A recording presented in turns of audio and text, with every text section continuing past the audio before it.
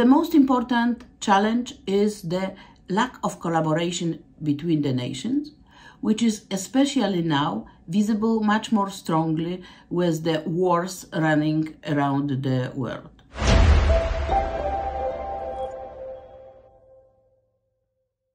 Crystallography is the basic science that investigates the intimate structure of matter.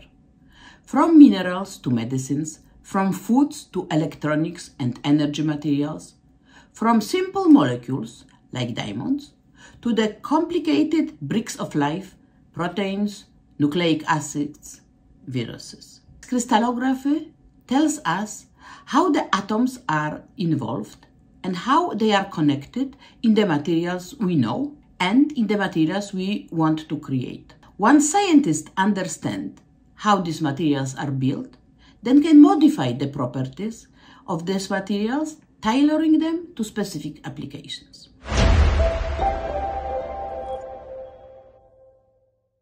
For health, we can we help to create new drugs and new vaccines. We are very much involved at the Union in improving the quality of education around the world.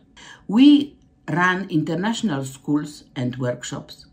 We have international crystal growth competitions for students, high school students, sometimes elementary uh, school students, uh, where they can compete in growing very beautiful crystals.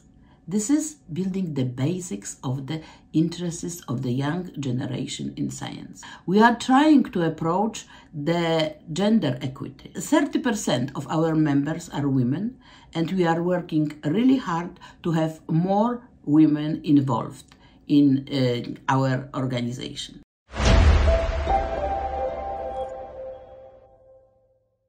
It provides the directions and raises the awareness about what the world need, needs at this specific moment. It stresses that science can bring solutions to bring solution to many problems, but only when political will is there and when the financials are provided.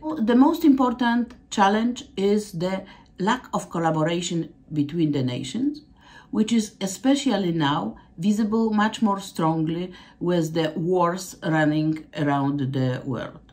I expect the collaboration will be strengthened on many levels and then together we can achieve all 17 sustainable development goals.